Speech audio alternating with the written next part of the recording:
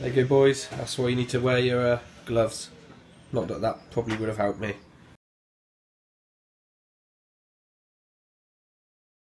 Morning, guys. Right, we're back on another one. I've got man flu at the minute, so bear with me. But I'm soldiering on as you do. I'm back at the big house today. Uh, the job Andy's sort of running. Um, we're doing a little bit in the plant room today, so I thought I'd film that. A few people want to see the install on that. So um, I'll just uh, flip the camera and show you what's going on.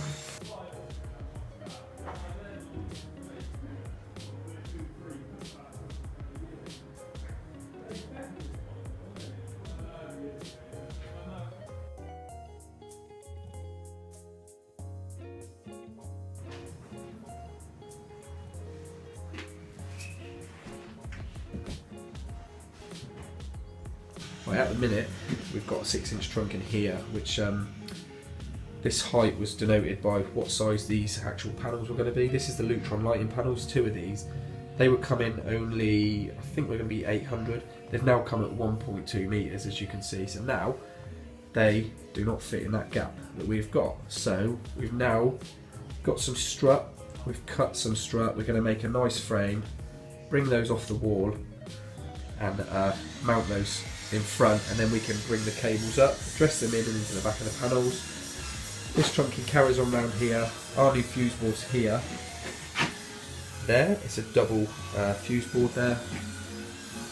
We're going to bring some 4 inch trunking up the wall, the top and the bottom of the fuse board and then there's uh, the stack to go there which is currently stood in the gym area there and then all the other gears go on the wall there.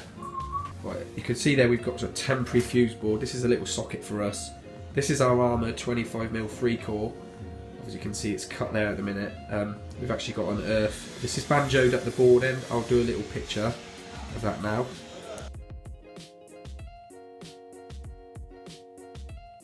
So that's banjoed at the board. Um, we've actually got an earth in here, so we've, we have got an earth on the circuit. We've tested these two ring mains for the house. We've got those circuits on now, so they can have some temporary heaters plugged in because we're, we're no way getting heating on yet because the plumber's not finished, obviously. Um, so we've got those ring mains on. These cables are long, you might say that's a waste, but um, we didn't know where these panels would go in. What This room wasn't even built when we started, so we actually left these all coiled out downstairs in the room downstairs, which I'll show you now. Today what we're going to try and do is get these panels mounted, get all these cables cut and labelled, probably back to here, and then we can start bringing these cables up into the panels and um, start getting some lighting on, potentially.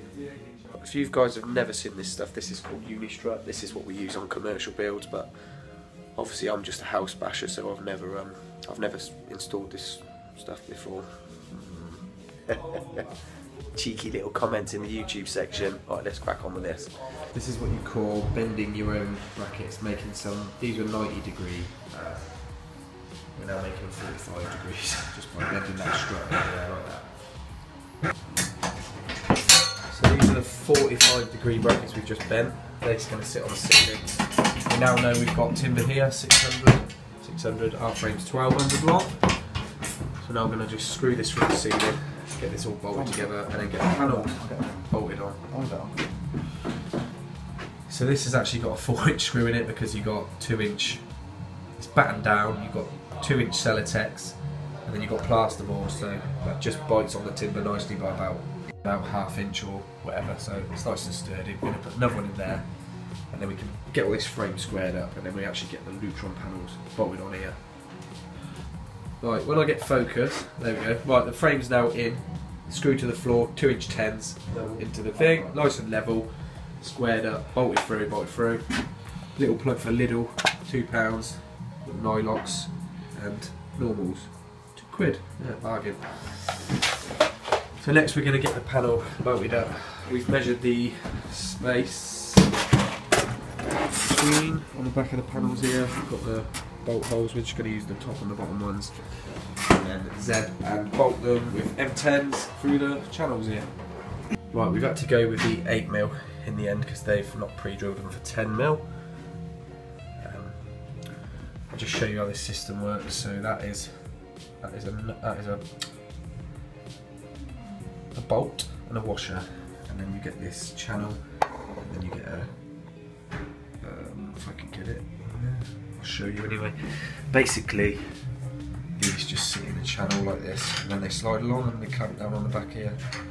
That's, that's called a zebedee, if you like. Some people call it different. Um, Early bird in here, get out! Right, so whoever supplied these panels have kindly sent us two different size panels. So obviously we've made our frame to suit this one. I've unboxed this one, it's a different size. So the fixings are different now. So we're just going to re-drill. I'm doing it now.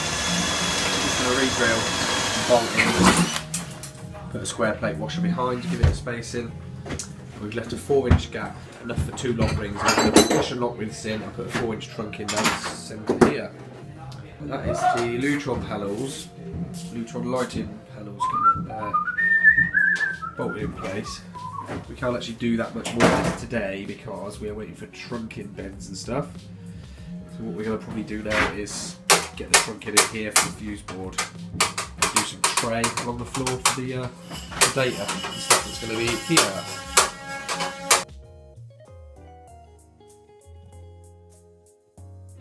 So we're just measuring up for the trunking and fuse board. This is the board we're going to use. Uh, metal enclosed, and it's just having a little sleep by the sounds of it. Metal enclosed. I think that's getting changed for a mains RCD, and then you've got one, two, three, you have four RCDs split.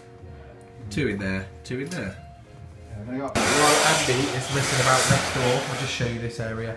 This is going to be their gym. We've gone with the same downlights in here, and then you've got two low level sockets that are stainless, screwless. I think running machine, bike, um, another two there. Then you've got a TV, that's going to be plastic because that is behind the TVs, that's the metal it looks like. And then you've got the two lovely windows with downlighters in there. And then I'm not too keen on that, charcoal grey radiators. But yeah, this is the data cabinet, two two meters high, probably 600 square.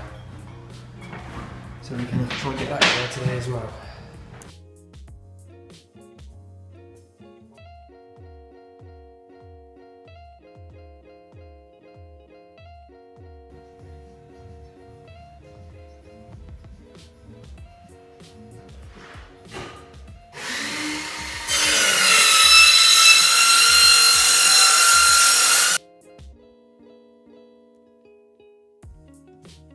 Well, I'll just show you what we've been doing. We've flanged, four inch flange into there, up here for the trunking. For this fuse board, that'll all come out the side there. I've now also flanged a four inch out the end cap there, four inch trunking along there to pick up some circuits that come in this way. And some spurs and stuff, and we come out with power for the hub on here as well. Just realised, just realised we've got that overhangs that flange, that we've got, we've got one of those on. Move that. Too tight there? There you go, boys. That's why you need to wear your uh, gloves. Not that that probably would have helped me. So what we've done, we got the trunking up. One one of those is bushed in. We're going to wait and drill the other one tomorrow. And Andy's got his sharper drill bit. 'cause That one we use is a bit blunt. We're just running the cables through here now, up and up, and leaving the cables actually go to this fuse board cord up here now.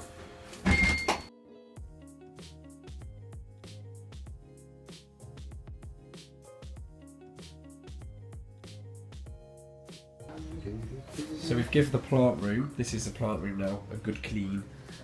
These cables have all got to come into the hub that's going to be stood here. It's going to get a... What size tray you putting on, uh, the, on the basket on the floor? It's a tray. Tray, what size? 12? It's in, it's in next door. It's in next door. So that, no, it's that one we had in, in, that from Oxford. That, 10 inch. 10 or 12 inch tray is going on the floor. And then Andy's going to do that on his own because that's a sort of a one man job to get those into the hub. It's easy done with a two man. Yeah, two man. Hey ho, that's what happens when you've got too many jobs on. Um, Oh! so yeah, not too bad for just house bashers. We've got all this in. Um, all this is in now, so yeah, it's doing okay actually. Right, I'm going to end the video there. It's the end of the day anyway. We're going to put the tools in the van in a minute. Um, I think this is the hottest day we've had this year, 24. So it's quite nice to get home, sit in the garden. Hopefully. So um, like the video, give it a thumbs up. and We'll see you on the next one.